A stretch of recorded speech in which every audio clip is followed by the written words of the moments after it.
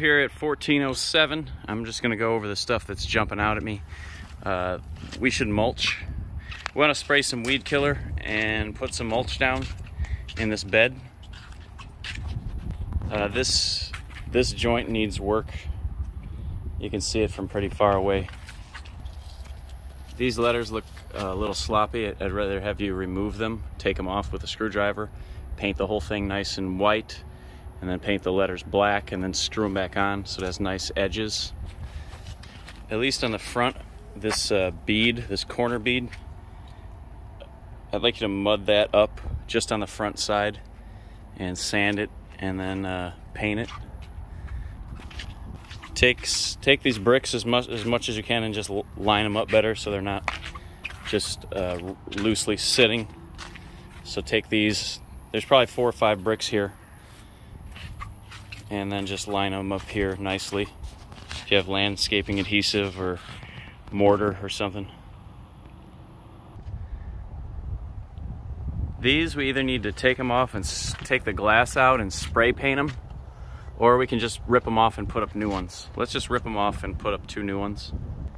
This here, this this uh, piece of metal that's bowing down, find a way to shove that up in there and if you need to screw it in place or something because it, it kind of looks funny from the street. And I think if we uh, I think we should run a run a caulk bead between the this piece of wood and that this crack would be, look a lot better if it was caulked and smoothed with water. Especially around yeah we need to caulk that that joint here. It just looks a little rough there's a piece of cast iron here, or that old fence post. Throw that in the pile out front if you could. All these bricks, put these in the pile out front if you could. And we're gonna wanna wipe this off. It's got all kinds of paint stains all over it. So if you could find a way to wipe that off. We need to get uh, a couple of feet, maybe four feet of uh, pipe insulation and re-insulate this guy. I will have this boat towed get this piece of metal uh, into the trash pile and this uh, paint stain if you could scrape that up or do something with that. This outlet cover which is to the left of the sliding door uh, it needs to be screwed in better and maybe caulked. It's just falling out of the wall. So you'll have to find a way to screw that in better and uh, caulk it The screen here has paint in it. I don't know if you can get the paint off of the screen. It looks like it comes off pretty easily. Or maybe it's drywall. That's the screen, that's to the left of the sliding door right here. There's all sorts of white specks on this thing. Uh, this is the right side of the house, if you're fa facing the house. This whole area needs uh, to be sanded you're gonna have to bring some grinder or something and grind that back down. It sticks out from pretty far away. Actually, I think it would be quicker if we take some one by sixes, like in the front, and nail them up across this entire seam, just like in the front, and run them below the window. That'll look super sharp. And it'll probably be quicker than sanding and redoing all this.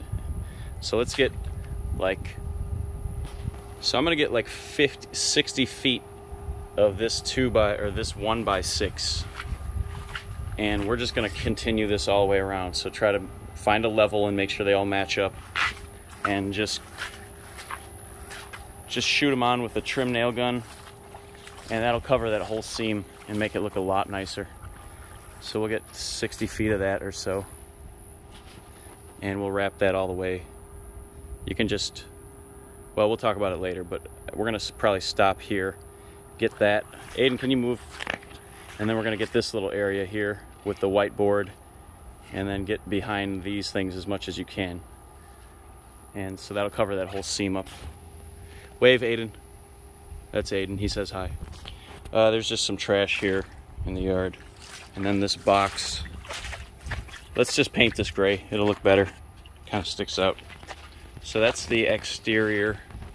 Uh, this paint spill right here, because it's right in front of the garage, if you can scrub that or something, put some I think uh, alcohol works really well for paint spills. Get that off of there. So the garage door opener is connected to that light bulb, which is on this switch, I think. Yeah. This switch we need to remove and wire it closed or wire it on permanently so that that stays on permanently. And then that light bulb is not working. So we want to put a light bulb in there. Or just remove that light bulb. We, we have one here and there's one on the opener itself. So just remove that light bulb and then make this closed and then get a single switch plate, mud that, because we don't want that on a switch anymore. Uh, put that attic door back where it belongs in the hole. Uh, I realize I need to get a washer and dryer in here from Aramis. Let's go ahead and get a uh, three and a half inch, 12 foot long baseboard. And we'll put a baseboard on there and then just roll this wall out. You don't have to go up into here, but just paint up to the, to the insulation on those pipes. And then uh, if you can make those look a little better, like put a clamp on them and uh, put the put the insulation back on there And yeah, roll this out with whatever you got, eggshell. Just do this so it's a little better, and then I'll put a washing and dryer, and we'll put a baseboard here. When you do this, maybe shoot this in a little better, just because it's at eye level, and, and caulk that as you paint it. It's, again, only because it's at eye level. The fridge, we need to get some stainless wipes. I have some at my house. I don't know if you have any. Uh, we gotta clean that. Uh, this is missing a knob, so we need another knob there. There's just trash and uh, dust and, and, bugs on this kitchen windowsill. And the uh, we just wipe the faucet down. It's got water stains on it. Just buff that off if you would. This we need to get some dark colored caulk and just really put put, put it in there, like maybe gray or dark. Uh, this joint looks a little rough and it's the kitchen, so it's really important to do that right. I don't know if we can do anything about this. This one's a pretty rough cut. underneath here needs to be uh, fixed. And underneath there, we need, you can use baseboard or whatever you want. Maybe we'll just get two 12 foot pieces of baseboard and go there and there. This, uh, this paint edge here looks white. I'd rather have you um, this should be gray. That's gray. This should be gray. And then, yeah, so turn this gray. And then uh, the uh, paint this here, paint it white. It got missed on the painting. And then same thing here, paint. This is currently white and this is gray, so let's make this gray. Uh, by the uh, sliding door to the left here in the kitchen, there's some scuff marks. Let's get those out of there and we need to either change these switches or make them white. Maybe it's easier to change them, I don't know, but there's red on them right now. Uh, set all the clocks, please. Clock, clock. There's trash in the cupboards. Get that out of there. Vacuum up all this stuff. Gonna have to glue that down or cut it and paint it or something. I think just just run a knife here. I don't know. Don't worry about that right now. But clean the cabinets out. There's dust in them. Yeah, just more crap in the cabinets. Get that out of there, please. There's just dirt here.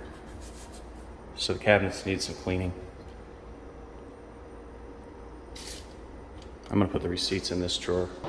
We need to get a new toilet hose. This one's frayed. It's visible from when you walk in. Let's change that. This doorknob has a bunch of paint on it. So we need to clean it or change it. Maybe it's easier to change it, it's up to you. Get a new privacy knob. This switch should be white. It's uh, it's not white. This is the front middle bedroom. This thing looks crooked. Move this over a couple notches. Just move it there so it's straight right now. This side is to the left. This is to the right. It just looks strange. That's pretty easy. This door needs another coat of paint. Just pull the knob off, paint it. There's a chip there and it's just kind of faded. So this should be semi-gloss. Uh, there's still trash here. There's like a plastic bag and some dead lizards and stuff like that. Uh, this this door needs a new coat again. You can see that needs semi-gloss. Just pull the knob and paint it, or it's up to you. If you can edge it really nice, then you don't have to pull the knob off. Um, in the front right bedroom, I'd like to have a support rod right in the center of this shelf because it's kind of weak. Let's do that. So I hope we have another support rod in the garage. The end of the, the closet at the end of the hallway, just this shelf at eye level, it's got this, it's kind of peeling up. If you could put some caulk in here and smooth it with water, that would look a lot nicer. In the, in the master bedroom, these door, these rollers aren't hitting. So they need this, this door needs to be adjusted. So this needs to get kicked out and that'll push that up. And then uh, this top area needs painting too. This These should be semi-gloss white, but uh, whatever you got to match. And then there's a chunk missing here. So uh, some door touch-ups and adjustments here in the master. In the master, this grout needs work. If you can scrape that down and then get this chunks out of here. And then this needs caulk. It's got a crack. So I'd really have this kind of caulk all the way around. We, we need to be using white silicone. So white silicone the entire thing and bring mineral spirits to smooth it with. Also do this joint. Um, otherwise this looks pretty good. We need to get some shelves in here. We need like to cut uh, pieces of uh, plexiglass or maybe 3 8 inch wood or something. And we need to get some shelves in there. And then there's one in the other bathroom too. This light needs to be on center with the mirror. So pull that off and move it to the left so it's centered with the faucet. Move that. This towel bar is falling off the wall. It's barely hanging on, so fix that. And there's just more cleaning and dirt and stuff here touch up around that escutcheon, pull the pull it off. It's a split, so you can pull it off and paint it behind it. It's got a seam in it, so you can split that and take it off and paint and put it back on. There's some uh, stuff in the sink here.